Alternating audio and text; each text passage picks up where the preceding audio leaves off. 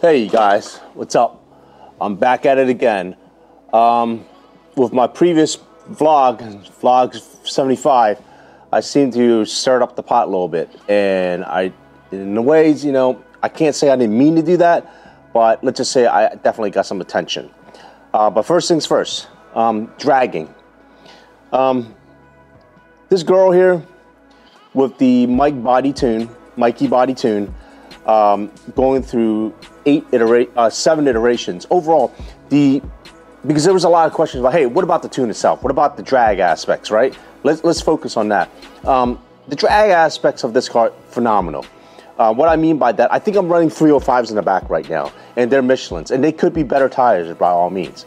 But the tune by Mikey Botti, the performance aspects is, I'm, I'm I will continue to say that yes, I am a, a, fan, and that's why I went with him from day one. And the performance aspects, it's it's really solid.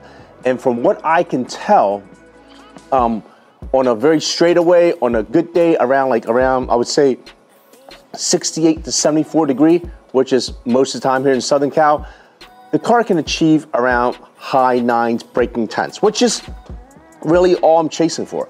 Because my previous vehicle, the NSX, I could not break 10, no matter what I can do, what I did to it. I went with SOS, uh, all the downpipes, all the meth, and all that stuff. Nothing. I, I, just couldn't do it. But with this car, with this tune by Mikey Botti, phenomenal. So the other part I want to address, I, I want to make sure I, I, hear it loud and clear. Uh, make that loud and clear. I highly respect Mikey, Mikey Botti, full due respect, and he responded twice on my on that post within a within the A9X forum. Really appreciate it. I appreciate the feedback. Um, you know, yes, our relationship is tarnished, but it's not not repairable. Listen, you are a good guy. You are a businessman. I get that, and I really do appreciate all the effort. And by all means, I'm not trying to waste your time. Um, so I really appreciate what you have said said about you know um, the right course of action. No, sir, you're not absolutely not kissing up, or sucking up. I get it. You are a respected businessman and a pro at your craft. That's what you are. You and guys like Visconti are pros at their craft. Yes, would it? I mean, would it be perfect? No, because what you're doing is really taking these OEM vehicles and taking it to its limit at times and beyond, and with additional parts to really push these cars beyond what their traditional limits are. So you guys, you guys and your crafts, it's, it's just, it's a talent, right? So that's what it is. I just want to make sure I keep it out there that I am trying to stay positive. While I really appreciate Mikey stating that, hey, you didn't truly feel like it's bashing, that's not what it meant to be. It was meant to, yes, it was to call your attention, but also make people aware and set their expectations when they're going with a tuner and to a lot of the guidances that from the various guidances of the vlog and the, uh, the feedback, it's all about setting your expectations, knowing what your tuner will be able to able to do for you and what they can do for your car. And I'm not to again rehash uh, uh, what I thought about um, the five senses and whatever else uh, with it. Um, but at the end, it's really about just what makes you happy as a modder. That's why we do these things, right? That's why we take it onto the drag strip. That's why we go straightaways. That's why we go for the canyon runs. It's all about how you feel and what you want to do with a car. At least, you know, what we do with it. Um, Mikey, you know, I, am going to be I, am not one to hold grudges, and I, am glad that you're. Not, it doesn't seem like you're the one either. You're still the same guy that I exchange emails with. I really appreciate your rapid response back on the forum, and you're, you're a classy dude. I know you're a classy guy. Um, hence, this is why I, I, I approached it the way I did. And while some would take offense to the platform that I, I chose to reach out to you, um, please, it was not meant to be a, a, a, a torch. Uh, that's not it. It was all about the fundamentals and the core of the sport and our hobby. That's what it was about. And I just want to make sure that people set their expectations and don't accidentally put their hard earned money into a place where they could have done better or done differently. Let's just say, and excuse the word better, done differently. Um, everything that you have done for me, as my experience, With the tune itself, again, life events are life events. I respect that. And, and I know, you know, from what I can tell, you are a hard- hardworking man. Um, and I highly respect that because, you know, I'd much rather you work than not work because then there's an unemployment, right? Um, you know, I would I would never wish any any type of ill will towards anyone or trying to stop their earning ability.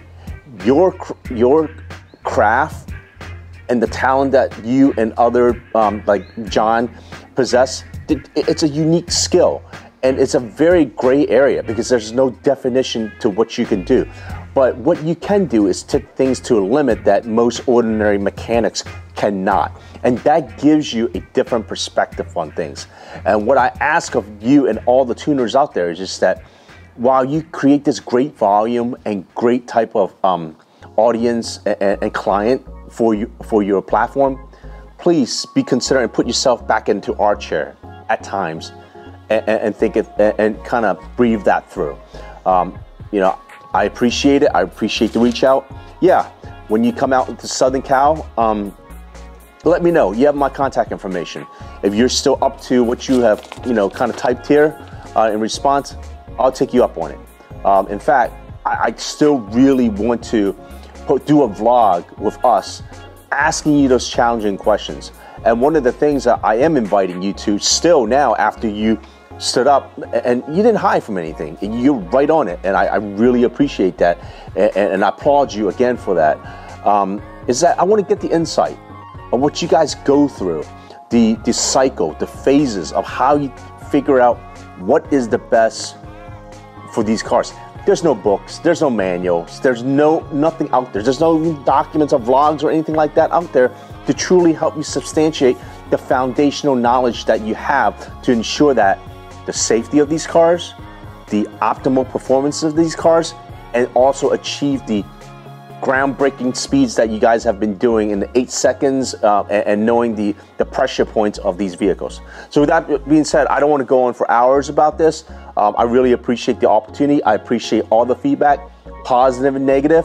I'm always willing for constructive, uh, always welcome constructive criticism. The only thing I ask is that, listen, be respectful and be politically correct. Um, I'm not here to bully anyone, and hopefully, you know, while there have been some activities in, in the threads uh, of what I posted, you know, listen, we're all adults. Be adult and be, you know, we're in 2022. Um, there's no need to go racial or, or, or other type of slandering. Zero need for it. I'll stick to the content as the one of the uh, forum uh, forum admins asked me to make sure it has some relationship back to drag. I told you about the drag. This thing drags like crazy. Pull up against a 911 turbo, I'm right next to it, if not edging it. That's even without the tranny. So I can't imagine you guys out there that has these great tunes by these great tuners or how much performances you're getting out of there. All right, I'm running long. Take care, you guys. Peace out.